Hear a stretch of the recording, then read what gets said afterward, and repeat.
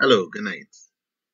In this chapter, we will be covering data networking basics. We will be covering data network types, common data network services, data networking technologies, local area network technologies, cabling types, LAN transmission protocols, methods and topologies, and LAN media access method LAN devices. When we examine data network types, we examine various forms of or various types of networks. These may include LAN, local area network, a MAN, metropolitan area network, a WAN, wide area network, PSTN, public switch telephone network, wireless network, cellular and PCS, and satellite networks. These are various forms of networking types. Data network types, LAN. These are a network of computers in a localized area such as an office, a campus, or warehouse building functioning with limited geographic location. The smallest LAN consists of two or more computers connected together, whereby there can be a very large LAN consisting of thousands of computers connected together. Computers and devices are connected via switches, hubs, and Ethernet cables to form a LAN. This diagram shows an example of a typical LAN. If we examine, we will see that we have the servers and the following other devices such as the clients on the network which is connected via a hub or a switch.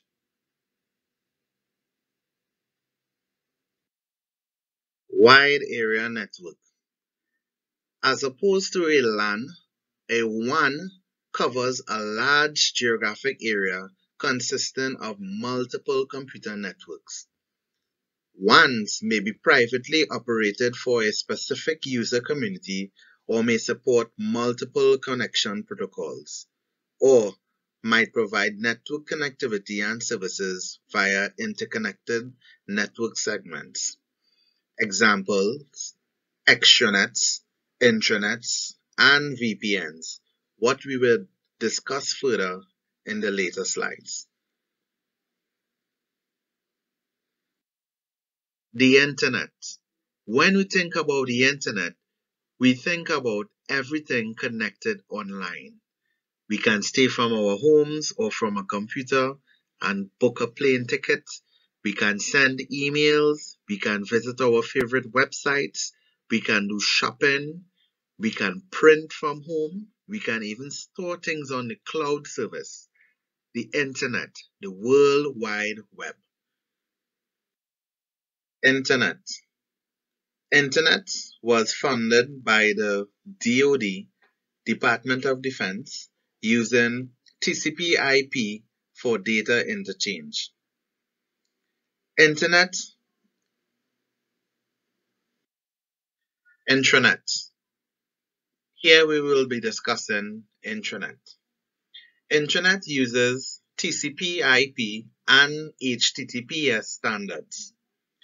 The intranet was designed for internal communications within the organizations, such as human resource, health and safety department, and accounts departments. The intranet is used more or less for internal communications, for examples, posting of vacancies, to inform employees about health and safety policies, and for let's say if you're thinking of accounts for release of financial statements from the company within the organization. Intranet can also be or more or less is like a logical private network using the firm's physical network infrastructure. Intranet provides more security and control as opposed to posting on the internet. Like what was previously mentioned, where HR department can post vacancies within the organization or health and safety department can post safety tips about for instance carnival or defensive driving or whatever requires safety awareness. Extranet. Extranet is an external access to the company network through VPN and user authentication. External users are granted access to the company's network but is not open to the general public. Some users of the extranet may be employees who require to log into their network to the company's network to access relevant information. It may also be useful for vendors who require access to the company network. As mentioned previously, the extranet is the connection for external access, meaning you can be outside of the company network and still have access to controlled information on the company's network, which is usually done through user authentication. Common Data Network Services File Services Sharing of data files and subdirectories on a file server. These are basically done through user access on the network. Mail services sending and receiving emails internally and externally through an email gate device. Print services, sending documents to a shared printer or print spooler. With print services, there's a network printer assigned and all users on the network can send prints over the network to print. A print spooler is responsible for collecting and prioritizing all of the prints that go to the printer. Domain name server or domain name service. This translates or matches URL requests to IP addresses or location of the server being requested. An example of this is if you go in your browser and you type in google.com, your DNS will then translate the written words Google to an IP address of the server in which Google resides. Here we will briefly talk about some types of network cable types. Here we have unshielded twisted pair known as UTP. We have shielded twisted pair known as STP coaxial cable, and fiber optic. LAN Technologies Twisted Pair STP, which stands for Shielded Twisted Pair, provides protection from electromagnetic interference leaking into and out of the cable. This cable consists of four pairs of wires each color-coded, wrapped in a tin foil or an aluminum foil shielding, which allows for higher data rate and longer transmission due to less interference with the transmission.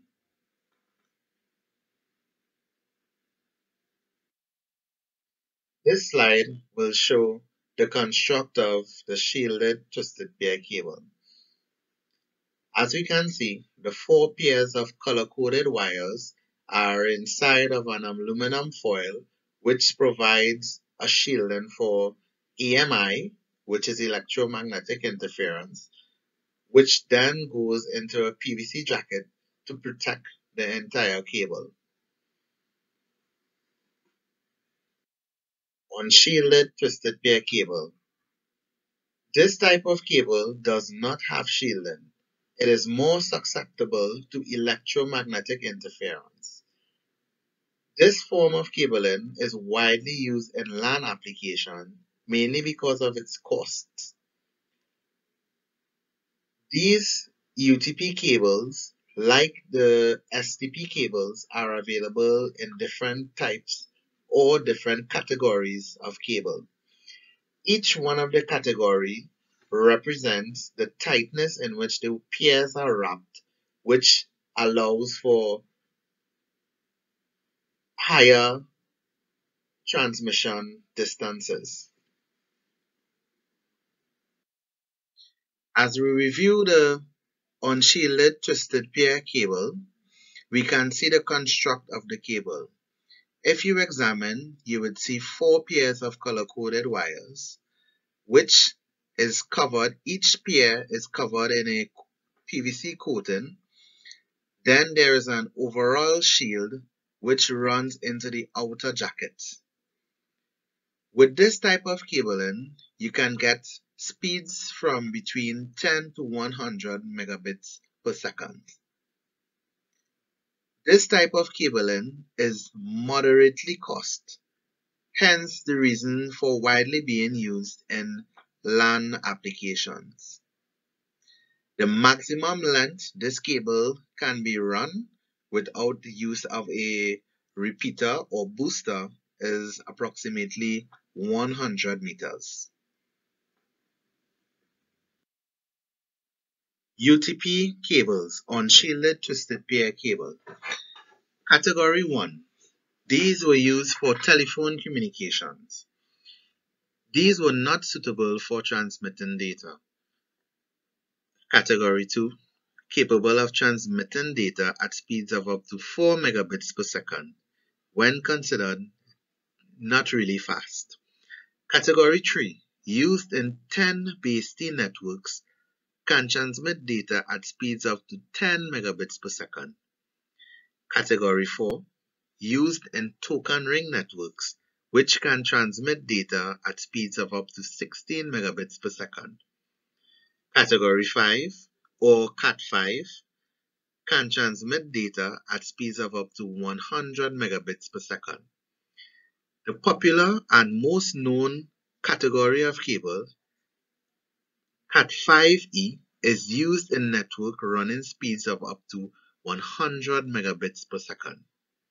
Cat6, a newer and faster technology, typically consists of four pairs of 24 AWG gauge copper wires. Category 6 cable is currently the fastest standard for UTP. Category 7, a new and expensive category of cable can transmit data at speeds of up to 1 gigabit per second. Another form of cable types used in data networks are the coaxial cable, known as coax. The coaxial cable consists of a copper wire directly to the center of the cable, which has an insulation covering that wire consisting of a PVC material. This then goes into a copper mesh which function as ground and all of this is protected by the outside insulation of the cable. In the later chapters, we will discuss some of the benefits of coaxial cables. When we examine coaxial cable, we can say coaxial cable is more efficient and less susceptible to electromagnetic interference. This is because of the various form of insulation and protection the cable has to transmit data. Because less interference occurs, data can be transmitted at greater bandwidth and greater distances than twisted pair. Copper cable, as we seen previously, is built with a metal shield with inner and outer insulation to block interference. When we think about coaxial cable and the types used in LAN applications, there are two main types that are used. One is Ethernet, which is RG58 size, and the thicknet RG8 or RG11 size is used. Coaxial cable can be used for two types of transmission methods. One is baseband. This is where the cable carries only a single channel. Broadband. This is where the cable uses several channels such as data, voice, audio, and video. Of course, when we hear about broadband over coaxial, we think of, we can think of many providers which offer these services. Such providers are Flow and Novo Communications, where more than one service comes over the coaxial line. Here we will be examining another type of cable used in network technologies, such as the fiber optic cables. There are various types of fiber optic cables, such as outdoor cables, indoor plenum, outdoor aerial cable with messenger, and indoor-outdoor cables. Another medium of transmission used in data communications and data networks are fiber optic cables. Fiber optic cables is a physical medium that is capable of conducting and modulating light transmissions. Fiber optics allows higher speeds and can go over greater distances due to less attenuation. The signal in fiber optics is carried as light waves. This is one of the form of data transmission types that is more resistant to interference. Fiber optic is used to connect backbone devices in larger networks. It is most reliable and expensive and it is most expensive to install and terminate. LAN transmission protocols. LAN transmission protocols. Carrier Sense Multiple Access, CSMA, also known as Persistence Carrier Sense. With CSMA, workstations continuously monitors a line while waiting to send a packet. Transmission only occurs when the line is clear. The destination sends an acknowledgement to the workstation on receiving the package. If not, the workstation resends the packet thinking a collision has occurred. In non-persistence carrier sense, workstations wait on a random amount of time before resending the packet. We also have CSMA CA and CSMA CD. CSMA CD stands for Carrier Sense Multiple Access with Collision Detection and CSMA stands for Carrier Sense Multiple Access with Collision Avoidance. We will talk about each of the following in the slides to come. CSMA CA. With CSMA CA, workstations are connected with two coaxial cables. Each cable carries signal in one direction. It only communicates on a transmit cable if detected no carrier. CSMA CD, however, operates in a different form.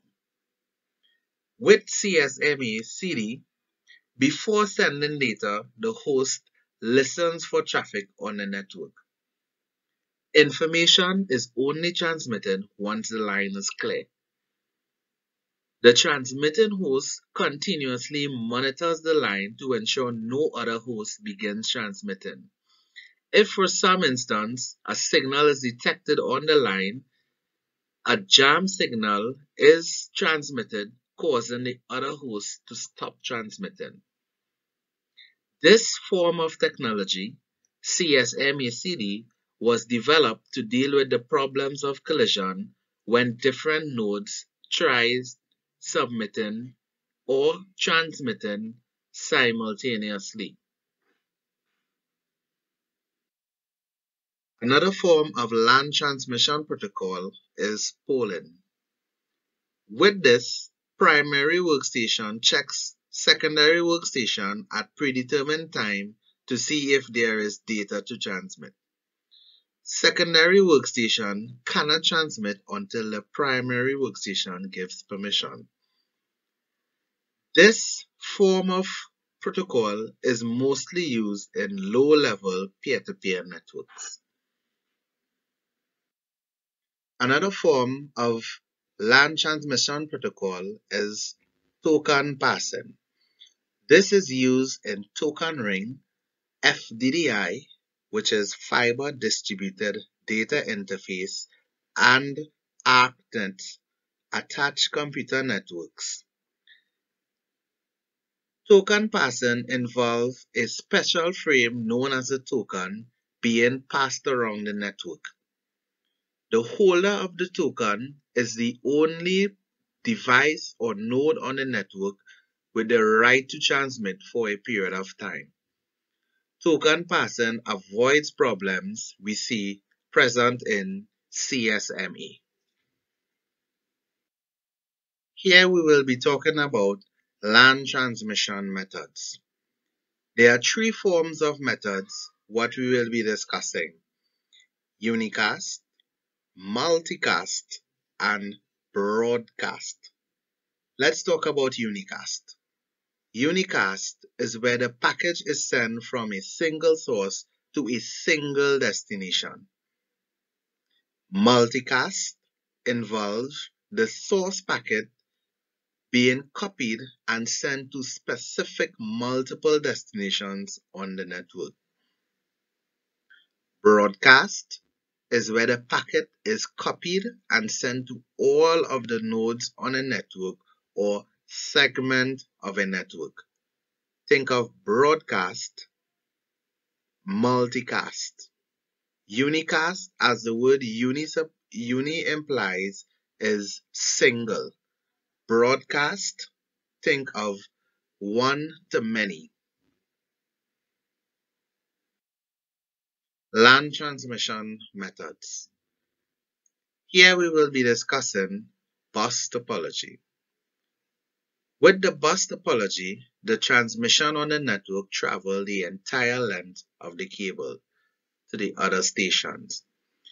When there is a break in connection with the cable medium, on the bus topology, there will be a disruption with accessing the nodes.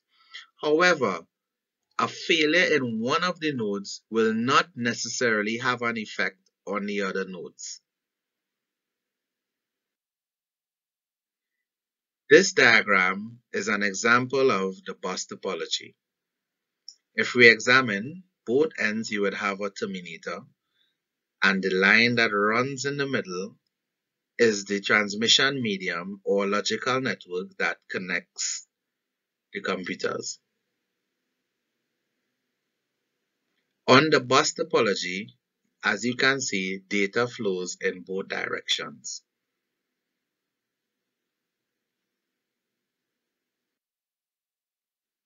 Here we will be talking about ring topology. As we can see, the computers in the ring topology forms a logical ring connecting each of the devices. With the ring topology, network nodes are connected via unidirectional transmission, also known as half-duplex transmission. This form of topology utilizes the token ring and the FDDI. Star topology. With the star topology, every network node connects to a central network device such as a hub or switch or computer. It is easy to add another computer to the network and if one computer fails, the rest of the network functions normally. In this slide, we will examine the construct of the star topology. As we can see, there are four computers and a printer connected directly to the hub. This hub could have been replaced with a switch, a network switch. Here we will re be reviewing the mesh topology. With the mesh, it manages high amount of traffic. With the mesh topology, multiple devices can transmit data simultaneously. And as previously mentioned, each computer and network device is interconnected with one another. The cost to implement a mesh network is somehow higher than other network topologies. In this slide, we will be examining LAN devices, such as repeaters, hubs, etc. Let's start with repeaters. Repeaters are devices that receives the signal and retransmit it. Repeaters amplify the data signal to extend work segment due to signal deterioration from attenuation. Repeaters do not filter or examine addressing. Repeaters simply takes in a signal that is slightly or severely deteriorated and amplifies it and retransmit it. Let's say that again. A repeater simply receives a signal, a deteriorated signal, amplifies it, and retransmits it.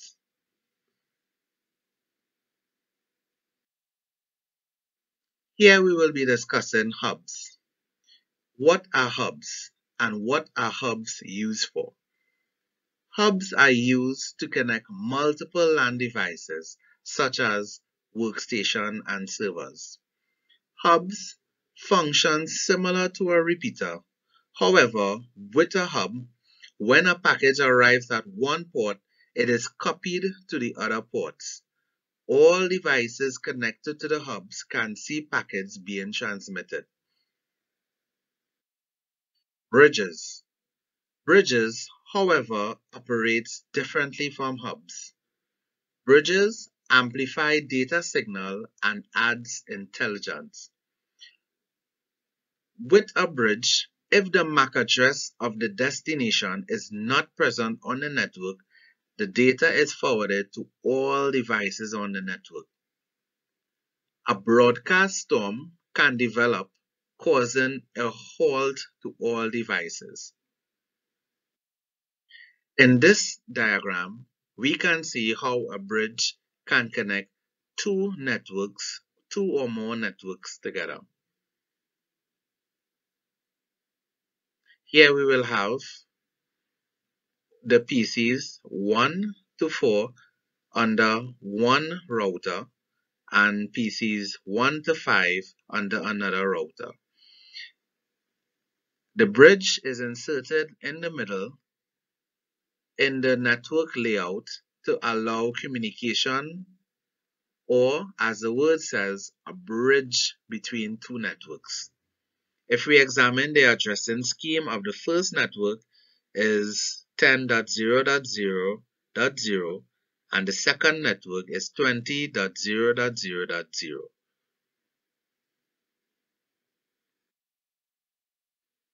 Switches Switches facilitate sharing of resources by connecting all devices together, such as printers, computers, and servers. Switches send packets to specific ports where the destination MAC address is located. Immediately, we can see how a switch is different in functioning from a hub. A switch is more an intelligent device when compared to a hub. Switches operate on the data link layer of the OSI level. With switches, only the intended recipient receives the package as opposed to all of the recipients receiving the broadcast and receiving the package that is sent through the switch. Routers. These are intelligent devices for forwarding data packets. Routers operate on layer 3, which is the network layer of the OSI model. Routers can connect multiple switches and their respective networks. Routers can also be considered as gateways, meaning the router could connect to external networks located on a WAN. How does a router function? How does a router know where to send the package and to which destination? Each packet that passes through the router is examined and its destination is read before it is forwarded using the router's routing table.